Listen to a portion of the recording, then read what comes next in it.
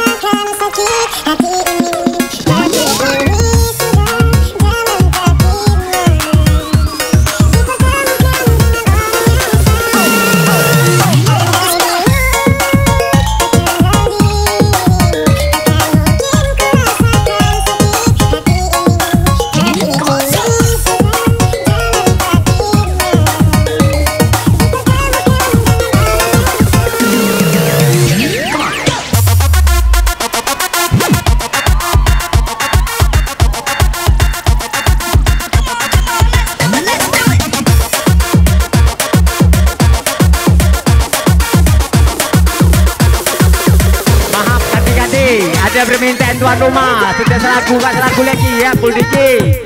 Tahu tuan rumah minta.